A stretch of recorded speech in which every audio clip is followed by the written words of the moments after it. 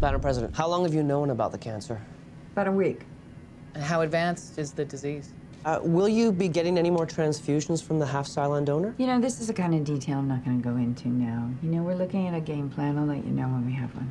Well, how will the treatment for your illness impact your duties as president? So far, it hasn't at all.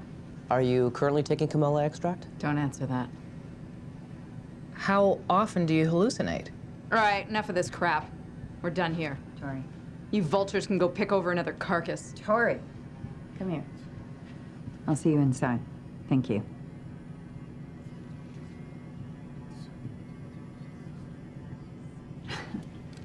I'm sorry, temperatures are running a little high in the fleet these days. Who's next? Karen.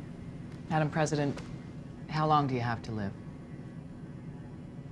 How long do you have to live, Karen?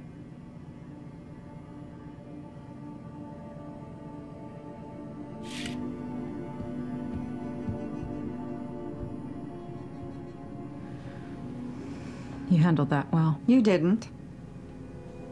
Picked over another carcass as opposed to mine. That's gonna look good in the press. I, I don't even know why I said that. I, What is up with you? You've been off your game for days. You're distracted. You're exhausted. You're just, you know, frankly, you're plain obnoxious. I just haven't been sleeping very well. You need to pull it together and focus on your job fast. Or I can find someone who can handle the press as well as pull a comb through their hair once a week.